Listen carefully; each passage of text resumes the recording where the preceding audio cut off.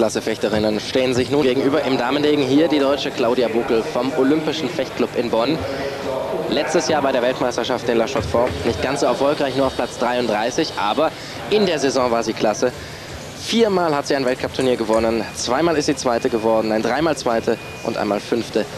Also insgesamt achtmal ein Finale der besten Acht erreicht. Die Deutsche, die damit Gesamtweltcupsiegerin wurde und gegen Laura Flesselficht, die Französin, ein Phänomen in der Fechtwelt. Olympiasiegerin in Atlanta im Einzel mit der Mannschaft. Weltmeisterin letztes Jahr im Einzel und mit der Mannschaft.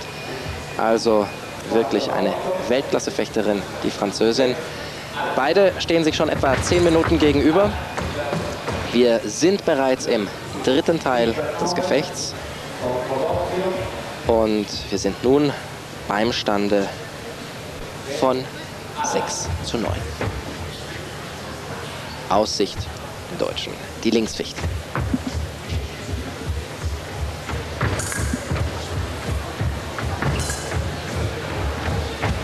Normalerweise ist Claudia Bokel eine Defensivfechterin, die sich lieber nach hinten drängen lässt und von den Fehlern der anderen pro profitiert.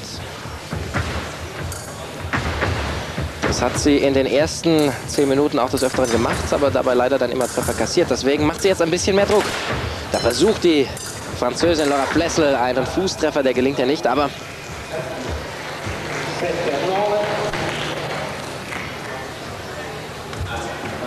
Da kann sie dann doch durchsetzen.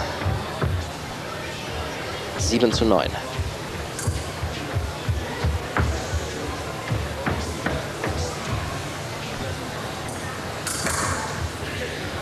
Flessel darf sich nun nicht nach hinten rausdrängen lassen.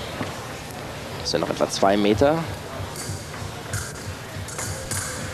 Ja, da macht die Deutsche wirklich gerade Druck. Bisschen jünger ist sie, Claudia Buckel, 25 Jahre, zwei Jahre jünger als die Französin. Laura Flessel in Frankreich, ein großer Star. Gefeiert natürlich nach ihrem Doppel-Olympiasieg in Atlanta.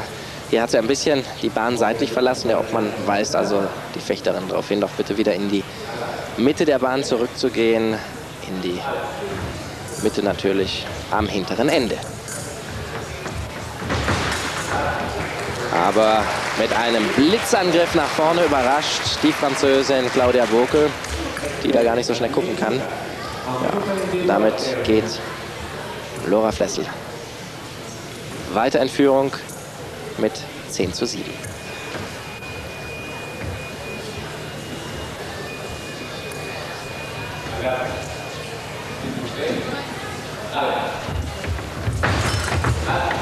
Doppeltreffer 8 zu 11 aus Sicht der Deutschen.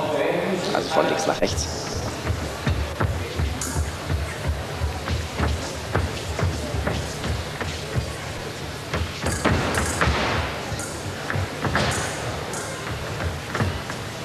Erhöht sie den Druck wesentlich. Aber Laura Flessel ist eine, die auch gegen den Druck arbeiten kann, wie man hier sieht. 12 zu 8.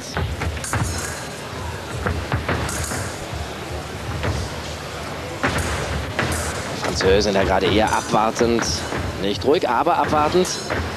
Immer unter Kontrolle habend, wenn Claudia Bogli einen Angriff versuchen möchte. Und wieder läuft ja die Claudia in den lang ausgestreckten Arm rein. Da versucht Burke den Treffer zu machen.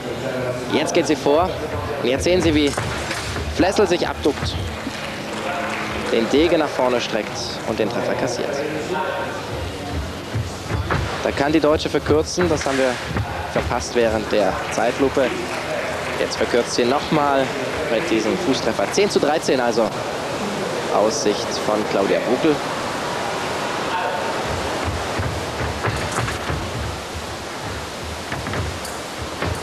Die erst kürzlich beinahe wieder auf Flessel getroffen wäre in einem normalen Weltcup-Turnier in Saint-Maur in Frankreich. Da standen nämlich beide im Finale der besten acht. Flessel wurde dann Zweite am Schluss. Claudia Buckel musste sich mit Platz 5 begnügen. 13 zu 11. aus Sicht von Laura Flessel, der Dame aus Guadeloupe, mit einer Frisur, die sich noch nicht so ganz mit den Masken verträgt. Das hatten wir vorher schon mal ein bisschen gesehen. Hier ist es wieder die Französin, deren Lampe leuchtet und die den Treffer für sich verbuchen kann. 14 zu 11.